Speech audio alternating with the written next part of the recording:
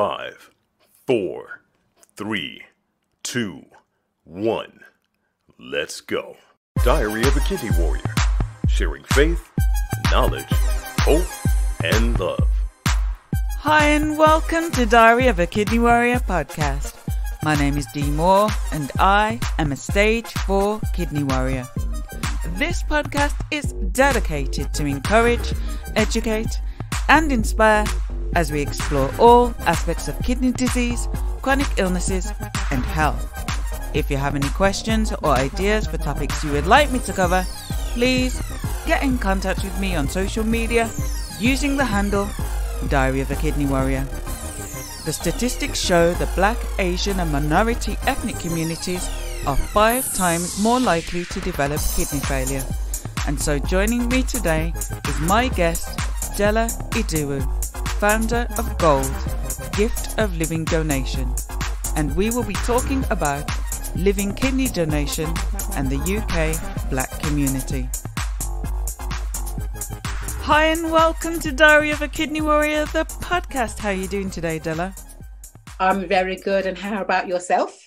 I'm good. I'm good. I'm really looking forward to our interview today. So I'm going to jump in with my first question. And so you are founder of Gold, Gift of Living Donation. So tell me your story. How did Gold begin? Oh, my story. Um, it was actually it's a personal journey. I it was a personal reason why um, I'm actually being here today and having this conversation with you. Um, my dad had died in Nigeria, and I, my brother had come over just for Sunday lunch. I thought it was going to just be a regular Sunday lunch where we would have a normal chat and banter and just prepare for dad's funeral. And he then said to me that he wouldn't be able to come. And I'm like, well, why not? And then he said to me that he had kidney failure, um, that he would be needing a kidney transplant. And I was like, wow. Um, that was the first time I was actually silent and I just burst into tears. I mean, he had known for six months. And I, I remember saying to him, well, why didn't you tell me? Why didn't you tell me ages ago that you had kidney disease and, you know, you needed a transplant? And he said he didn't know how to say, he didn't know how to put it into words. And I remember we were talking about um, dialysis and how long he would have to wait for a transplant because we know that people within the Black community don't come forward as, as organ donors. And um, he then was talking about um, living donation. And I remember saying to him, living donation, what's that? And when he told me that it's somebody, you know, within your family or friend who can donate a kidney, I said yes. Immediately, I said yes. To me, it, was a no brainer. Um, this was my brother. I loved him. I didn't want him to spend years on dialysis while waiting for a transplant. So for me, he said yes. And I have to say, Dee, in, in that moment, I saw hope. I just saw hope, light lit up in my in my brother's eyes. And that was the beginning of this journey. Um, next day, I was up at Guy's Hospital um, did a urine, did a blood test. Uh, we were six out of six tissue match. I was what, great, you know, I'm a perfect match for my brother. And I was on a roller coaster of emotions.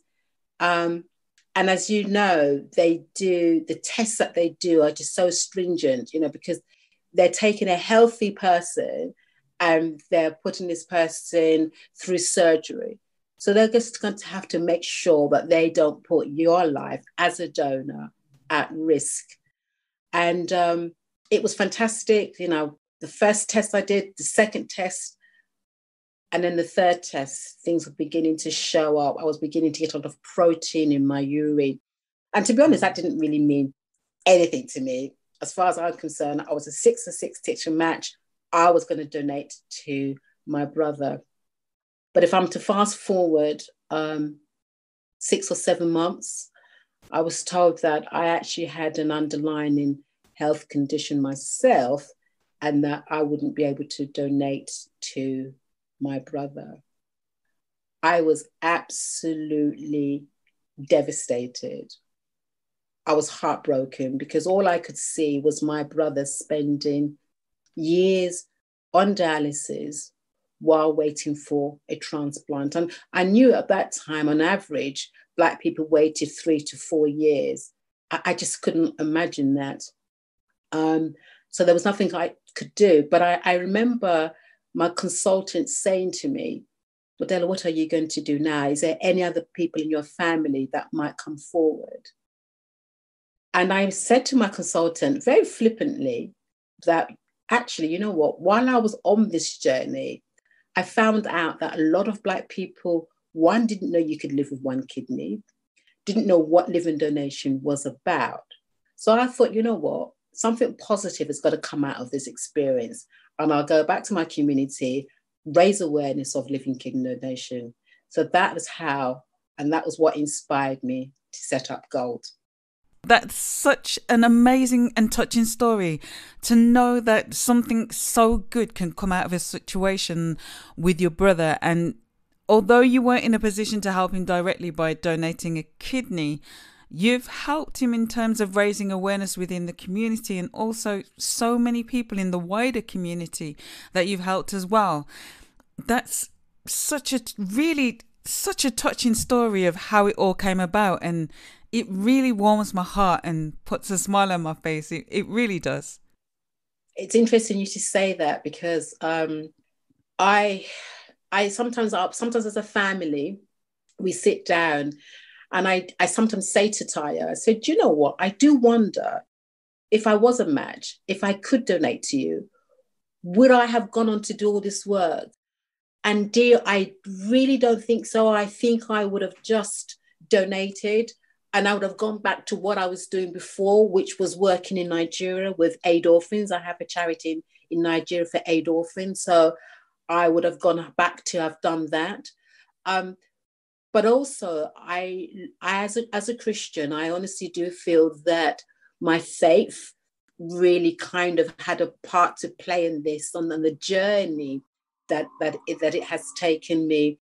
Because out of that, um, as I said to you earlier, in the Black community, we, I think, first of all, when I first came forward, I wanted to find that, I wanted to find somebody within my community who had donated. I wanted to find out a bit, a bit more information. And when I first came forward, there wasn't a lot of information about living donation within the NHS here. A lot of the information we had was from America. And I wanted to find out what does my community say about living donation? You know, what does my faith say about living donation? So it was interesting. And I think one way of dealing or helping me to come to terms with my not being able to help my brother was to write a book. I wrote a book about my journey, and it was just for me to have some sort of closure um, but I wrote it really from a Black perspective. You know, well, what does our community say about living donation or organ donation? Well, what does my faith say? You know, um, the different emotions that you go through that actually healthcare professionals can't tell you because they haven't experienced it. And it actually turned into a book, but it's so easy to read um, that now, if you are coming forward as a living donor, whether you're black or white, um, your living donor coordinator will give you more than a match because it tells you all about the living donor process. But it's also good for somebody who is a kidney patient and they're thinking, well, how do I ask my loved one to be a kidney donor? Because they don't know much about it. So that book is also for them to read and say, okay, so these are the tests that I'm asking my loved one or my friend to go through. These are some of the emotions that they might feel. Um, so in that sense, it's been a really good, valuable tool for, for the Black community in terms of knowing a little bit more about living donation. It's a way of in, empowering them to be able to make that right decision. Your book sounds like a very powerful and valuable tool to help people. So tell me more about the work that you do with gold. What exactly do you do? It really is raising awareness of living donation within the Black community. So we've done a lot of work in collaboration with NHS in terms of different outreach and different community projects.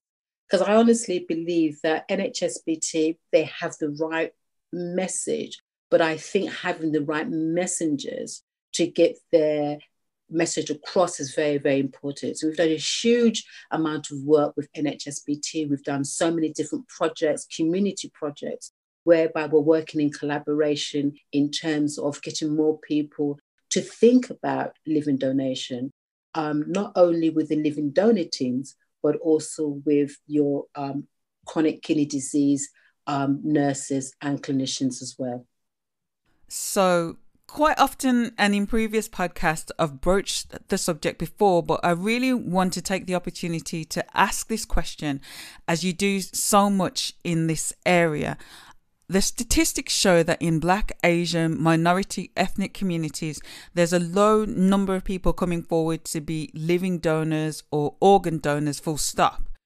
Why do you think that this is the case? I think there's so many different reasons. Um, I think a lot of it is individual because people ask me, well, Dela, how come you said yes to your brother? You're black, you're you're a Christian. And I think a lot of it again is within the black community, you've got people who have just got a different mindset as well. For me, it was a no-brainer. But on my journey, I think a lot of people say no to what they don't know. And I found that when I explain to people what, what you know, oh no, no, I'm I'm not going to do that. I'm not going to be live. I couldn't do that. But I said, well, if it was one of your loved ones and your brother or your sister needed a kidney, would you do that?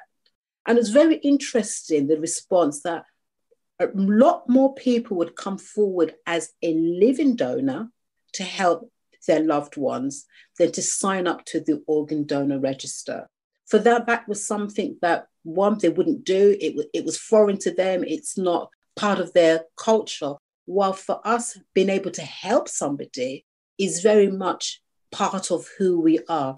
So we actually do have quite a, not as many as the white community, but we have over 550 Black living donors within the UK.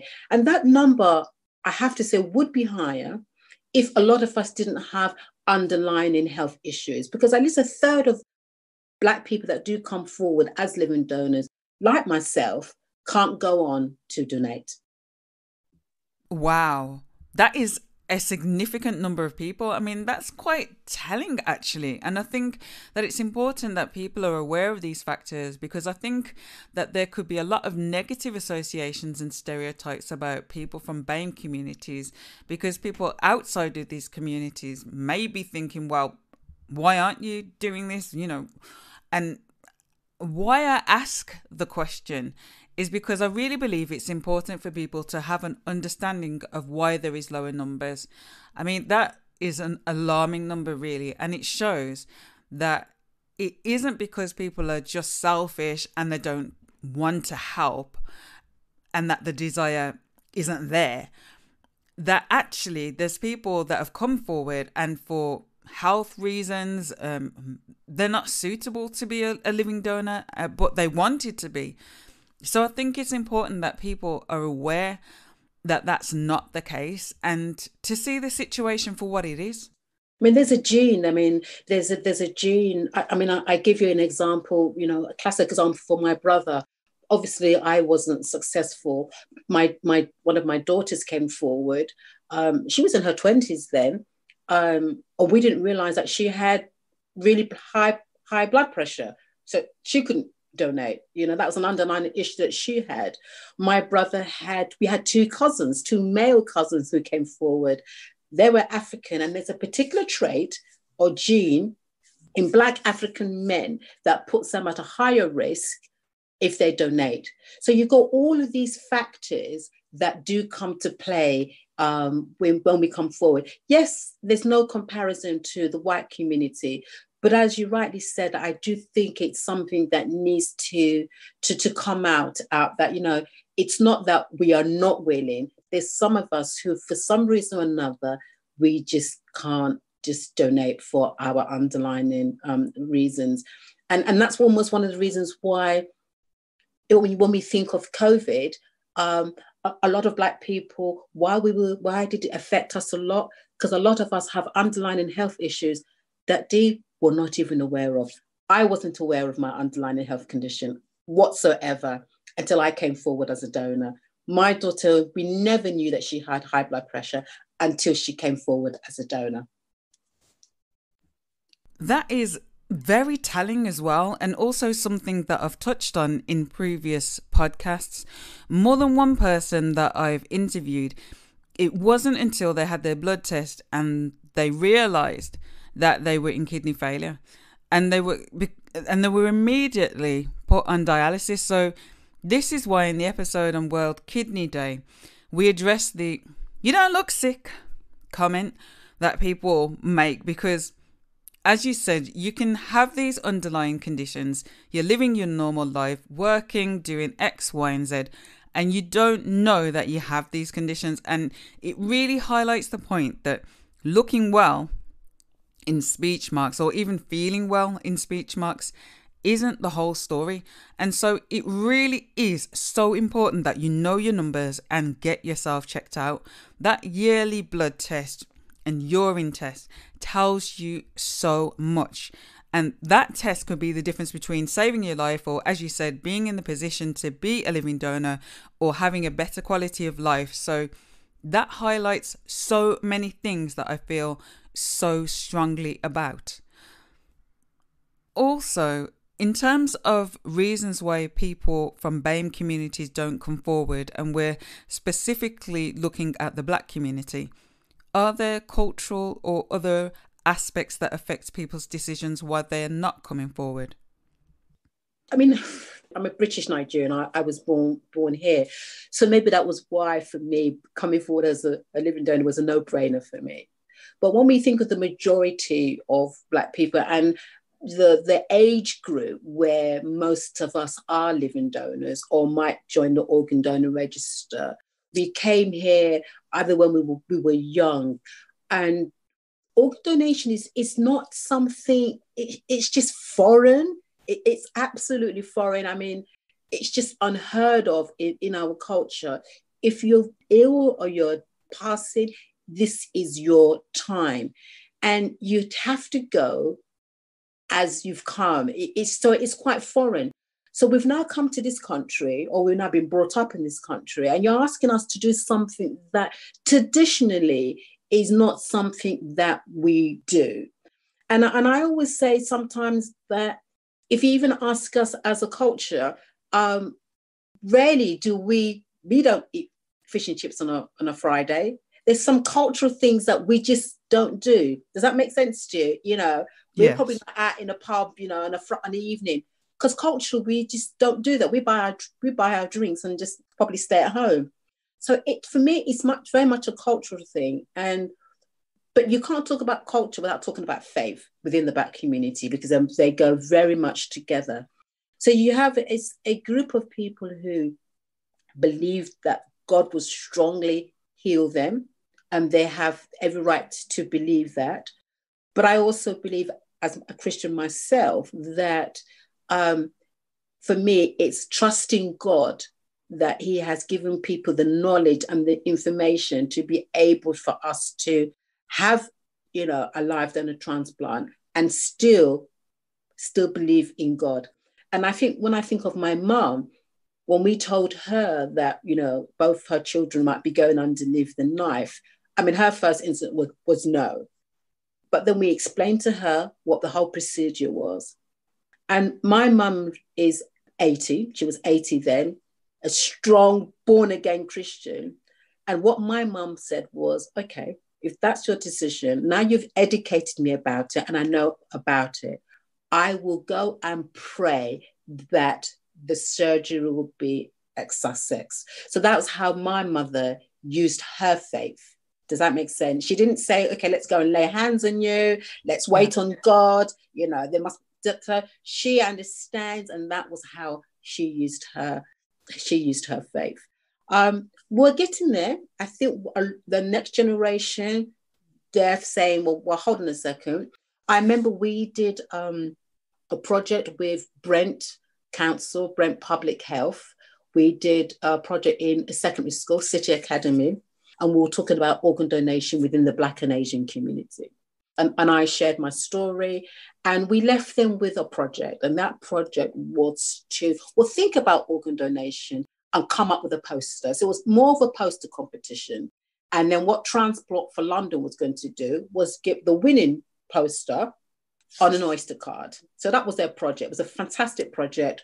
So we've got Tesco's involved, we've got IKEA involved, we've got the general public involved. Were we asked them to nominate their poster. We had about 200 posters. And then when we had the award ceremony, we had the mayor of Brent that came, and we had all the different parents. There was this particular black gentleman that stood up and he said his daughter challenged him because when she came home with her poster, he was like, We don't do that. Black people don't donate. Well, you know, where are you coming from with that? But she kept on asking, But why not, Dad? If it saves lives, we heard Dela's story. Why wouldn't we want to do that? And she challenged him and challenged him. He said, Well, she was going to be an organ donor when she could, because as far as she's concerned, it's the right thing to do. He said that he began to question himself, though. Does he is he saying no because culturally everybody else has said no? Because his daughter has given him an education, and he stood up on that day and he said he never ever thought that he would be an organ donor. Now he tells all his friends that, look, we've got to join the organ donor register to help our community. So I think sometimes it is about education, it is about knowledge. Knowledge is power. And I really believe that when people are empowered with knowledge, they do more to help themselves and to help others. So, in terms of. Angelou that said, Is it if you know better, you do better? Yes. Yes, she did say that. Um, yes, the late Dr. Maya Angelou did say that. She's a very inspiring woman, phenomenal, as she would say. Yes, woman. Yes. So, in terms of someone who's thinking about living donation, or maybe they've heard something on the radio or on a presentation from yourself, what would be the first step for this individual in terms of the support that you offer? We've we've um this was on the back of COVID. We set up because what we used to do, we used to actually go into the hospitals and and talk to black patients and engage them in that way. But on the back of COVID, we set up um, the peer foam buddy scheme, and really, what it is, it is it's almost like I would say like an integrated support system where we offer empowerment, education, and that emotional emotional support. Because people are going down a path they've never been down before. And there's not going to be many people who in your in your environment who have been down that road. So what we try and do, we try and just get somebody who's thinking about living donation who has come forward to talk to a peer buddy, somebody who's gone through that process. It could be somebody, if she's going to donate to her sister, we might match her up with somebody who's donated to their sister and they can just talk about their experience. It's just about sharing their personal story. Well, this is what it was for me. This is how I felt. This is some of the tests that I went through. So that living donor knows that actually I'm not on this journey by myself and I've got all the support that I need right up to when they if they're successful and after and I think that is so important because you just empower people and you just give them that confidence and I, I always said that I wish when I came forward I had that support. So maybe that's one of the reasons why I've set it up. And it's proven to be very, very successful because it just gives, because sometimes as a living donor, you can't talk to the recipient, you can't talk to the person who you're going to donate to about how you're feeling. You probably can't talk to family members. So you're talking to somebody who's your peer, who's been through it, who knows what to experience, and knows exactly what who what you're going through and understands those different emotional feelings that you're feeling. So I honestly believe that you know the, the peer buddy scheme it, it's really really good and it's about us as black people wanting to give back. We've had we've been down that road. How can I now give back to my community?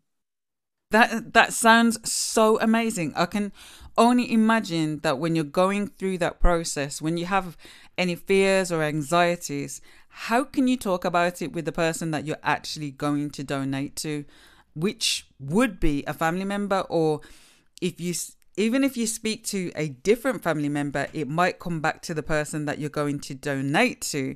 So I can imagine that could be really, really difficult for that person. So having somebody completely independent that you can talk to about any fears or anxieties, I could see how that support would be a lifeline really for that person. So that sounds so amazing. So how do they start the peer buddy process? Well, it's it's it's it's twofold um, because it's open to both patients as well as well as potential living donors. Oh, so, okay. if for example, I just use my just my setup. So, if for example, um, a family member has shown some interest, obviously they would have to get in contact directly to the living donor team at the at the hospital um, and just say, look, you know, I've come, I want to come forward as a living donor. They then give them all the paperwork. But what they do now, um, we've put together, and again, seven, eight years ago when I came forward, there wasn't a lot, in fact, there wasn't any culturally relevant information. So apart from your standard living donation information you get, there's this cult, there's this sense of cultural identity within our, within our community that is so important. And and it's it's interesting because you could just go on the train and you see somebody is black. There's this unconscious nod that you give that yeah hi i, I kind of see you. So it was important for us to also make sure that as anybody that's coming forward for the process that they had information and they saw people that looked like them. So we actually put together a booklet of about 18 black living donors so you've got a photograph, they're all black, so they look like you. And it's about their stories. So you've got mothers, husbands, wives, just ordinary people who've donated to a loved one. And you're reading about their story. And it's just so powerful. So the living donor will give you this pack, you know. So in that pack, there's how you can contact Gold with regards to the peer buddy scheme. You can read the story of about seven or eight living donors who've been on that journey and even those that, like myself, that came forward but weren't successful as well. So I think it's also good to put the good, the bad, and the ugly, you know, together. So yeah. I think it's good to have that balance because as much as we want to be positive and uplifting and talk about the success stories, I think it's also important to show that it doesn't always turn out the way that you hope. But also, as has been said by Jan in another podcast, if you're not in a position to be a living donor, then you can sign up to be a deceased donor or a blood donor, or you can give in different ways. So I'm aware that there's so many different ways that you can give. So, in terms of gold, is your focus directed kidney donation? Yes, it is. Yes. And I, I find that most, um, as I said, we've got about 504 over 550 donors, and majority of them are donated to siblings, you know, loved ones. A few have donated to friends. I, I know some who have donated to friends. And I said earlier on, there's one or two that I know who are um, altruistic donors. But I think within the Black community, as we said earlier, um, Dee, was still it's still a challenge. And it's sadly the last financial year we only had 25 black living donors. We had over 890 white living donors. And even with the aging community we had more. We had about 74 um, donors. So we've got a lot more work to do within the black community. Uh, so 25 is not very good. So I, I'm I'm on a mission. You know, I'm on a mission next year. Well, starting from this year, I'm on a mission to challenge each of the London transplant centres and the QE, because they have the next highest number of Black patients. I'm trying to challenge them that can we perform just one, just one, not two, can we perform just one Black live donor transplant each month. And I say, is that an ambitious task? Yes, but I also feel that we can do it. And I think if we can work in collaboration, if the clinical leads can work in, in collaboration with the community leads, i.e., organizations like ourselves, I think it, it's, it's achievable. We, we have to get those numbers up. Um, and I said, if we can just get it up by one, one transplant each month, that's great. So that, that's, that's my challenge um, at the moment. And, and I think we can do it. What is the number one thing that you would like the Black community to know about living donation? That you can live normally, you can live a normal life with one kidney. Because the, the, the fear is that if I donate my kidney, can I still do all the things that I wanted to do? Can I still travel? Can I still have a healthy lifestyle? Well, supposing um, something happens to me and I need my kidney. We didn't, we had um, an event last year, Dee, and we called it the big conversation because we really wanted to find out, just as you've asked me, okay, Black people, what is really stopping you from coming forward as a donor? And it wasn't culture as we thought, it wasn't faith, it was fear. Fear just stopped people dead in their tracks. And it was actually fear from patients. They were fearful of even asking their loved ones, well, supposing they say no. Supposing they say no, you know, is that going to cause a rift between the families? So, do you know what? I'm, I prefer not to say no, I prefer not to ask, just in case they say no. And then it now causes a rift, you know, within the family. I'll take my chances and wait for a transplant.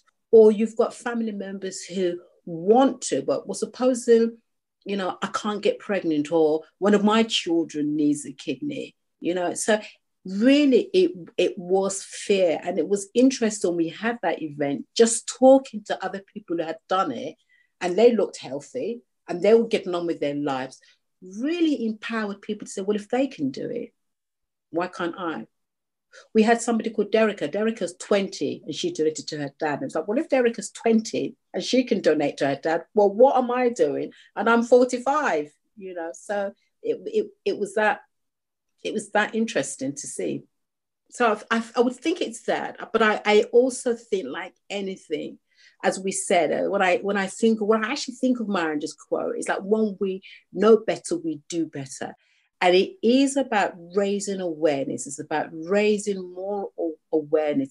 So, one of the ways we wanted to raise awareness about living donation within the Black community was for the Black community to hear stories of people who had actually donated um, a kidney. Um, so, two years ago, we put on an event called Because of You, and we invited all the Black living donors who had donated in the UK in the last five, ten, how long it was. Or we had about 250 um, living donors that turned up. And it was such an amazing event to see all these living donors and their recipients all in one place. But what was wow. so powerful about it was like, oh my gosh, I I don't know nothing like living donor. Oh my gosh, isn't it great to see another living donor? They were exchanging their stories. And for a lot of people, it was this is actually the first time I'm actually talking about my journey and my experience. But what we also did was we were invited potential donors who were still on the fence. They really weren't too sure. Well, do I really want to do that? But they sat at a table and they heard stories.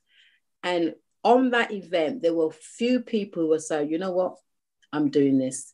So it really was finding creative ways really to raise awareness of living donation and getting those stories out there. I mean, like yourself, we've done a few podcasts on living donation. We've done um, videos. Uh, this is my story. We've done one where you can write from the beginning of I want to be a living donor right up to the whole process. So I think it's just getting that information out there and just let people hear those the stories and just see how healthy they are with the one kidney.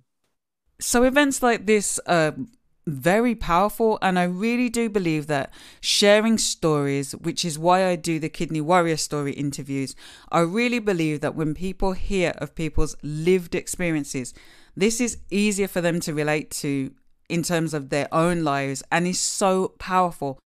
I think it's absolutely amazing and life changing. And the fact that it has encouraged people to say, I'm going to go for this now is that is awesome. So I know that you've got an event coming up, um, a coffee morning. So tell me about what's happening. I one thing about me, dear, I've kind of noticed I'm, and I, I don't. I have to say, I I think no, it is. It's my Christian faith. One of my favorite scriptures is I can do all things through Jesus Christ. And I literally, I literally just take that word and I just run with it. And I like to think out of the box. And I like to kind of almost be the first. Bringing all the Black living donors in the UK, that was a first. The big conversation we did in collaboration with um, London South Bank University, that was a first. So we're having our first virtual coffee morning. And again, it's going to be something whereby we're talking about kidney disease and the kidney disease obviously is, is connected to living donation. But we need to tackle that first. You know, why are people within the Black community, why are we developing more likely to develop kidney failure five times more? What is it that we are doing? Is it our diet? Is it the food that we're eating? Do we need to do more? Does the Renal Association need to do more to really raise awareness of kidney disease, you know, and its relationship to our diet.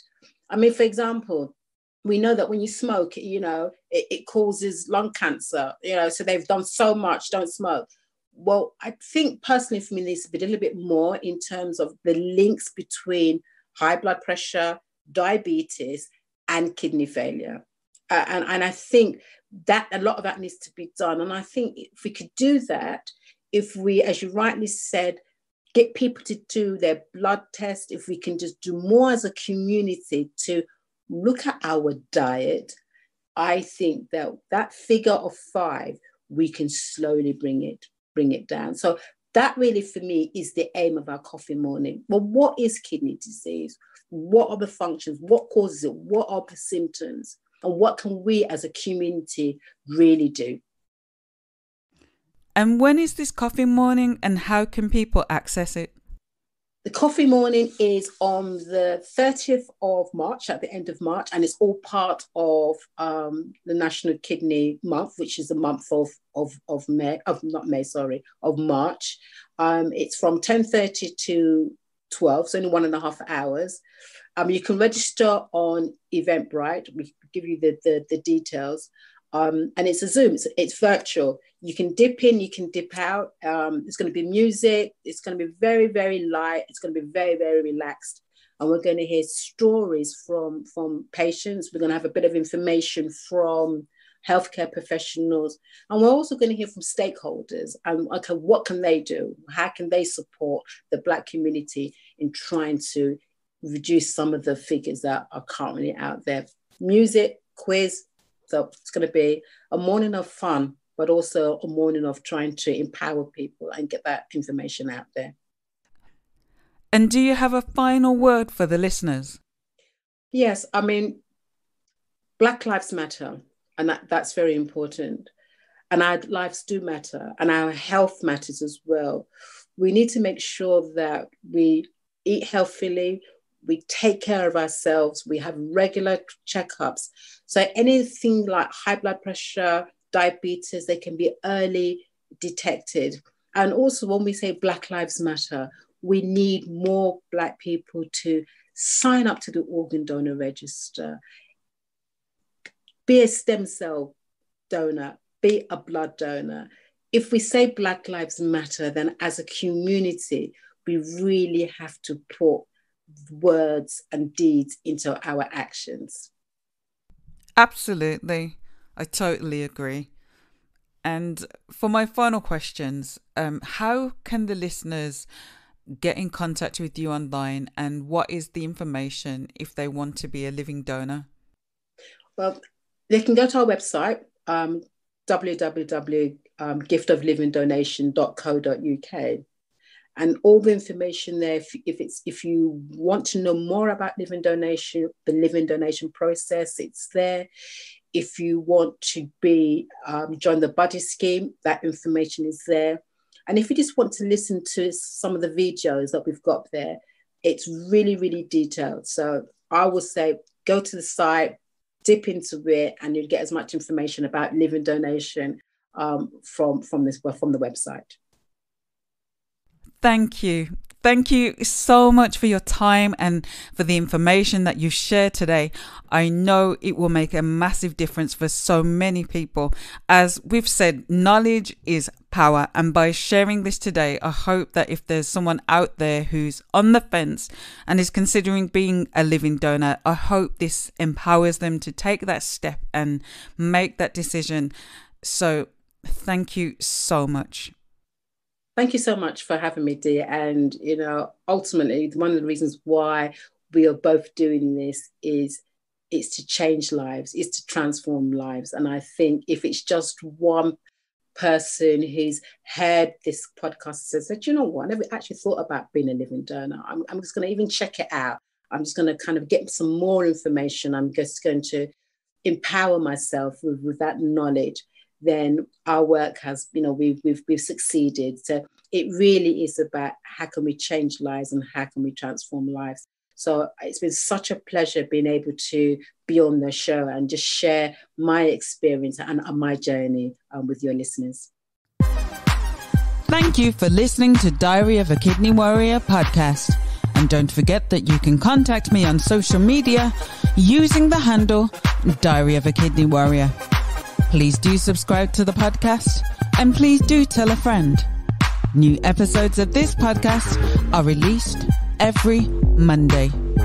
Until next time, take care and choose to live. Diary of a Kidney Warrior, sharing faith, knowledge, hope, and love.